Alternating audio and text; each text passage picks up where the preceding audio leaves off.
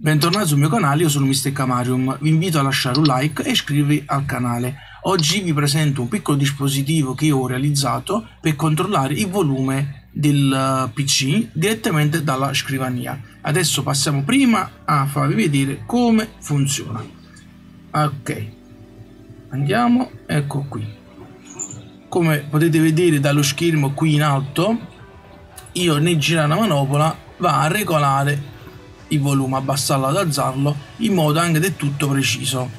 Se vedete, ovviamente eh, vi anticipo che questo progetto è stato realizzato interamente con pezzi riciclati da un piccolo mouse, quindi non ho comprato eh, nulla a parte la scheda del DigiSpark.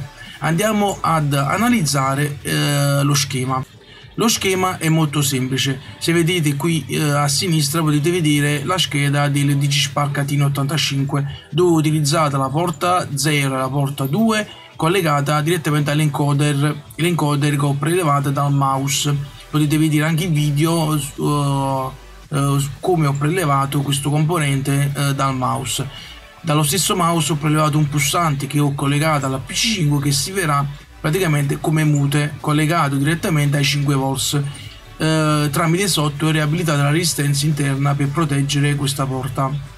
In più sulla porta numero 1 ho attaccato un ulteriore led perché la G-Spark sulla porta 1 già ha un led. Io ne ho abilitato un altro. Questo led di colore rosso con la resistenza 180 ohm ci servirà per avere uh, una segnalazione di stato nei momenti in cui andrò a premere il pulsante mute. Così io saprò sempre che eh, il computer sta in modalità mute almeno così non impazzisco vedendo che l'audio non c'è.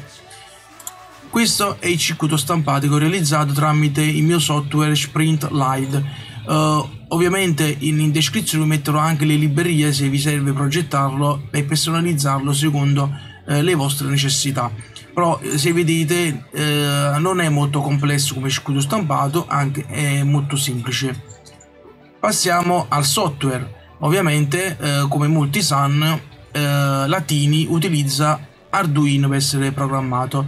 Questo è Uh, lo script che praticamente ho trovato in rete non è farina di mio sacco. Io ho solo personalizzato praticamente l'encoder uh, per farlo girare nel verso che mi serviva a me in pratica se vedete che l'encoder eh, quando andate a ruotarlo ruota nel verso sbagliato basta che cambiate eh, questi, due, eh, questi due valori. In pratica dovete invertire la A e la B con 0 e 2 e via dicendo. In questo modo vi troverete nel verso giusto.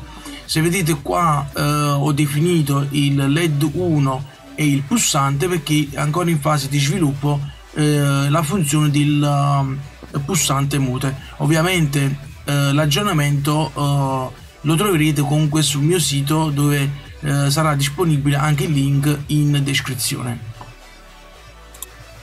Quindi eh, questo progetto penso che sarà utile a molti di voi. Io purtroppo per realizzarlo ci ho impiegato molto tempo perché aspettavo la componentistica che doveva arrivare dall'estero. E a causa eh, del problema mondiale eh, è stato difficoltoso averlo eh, nei tempi previsti.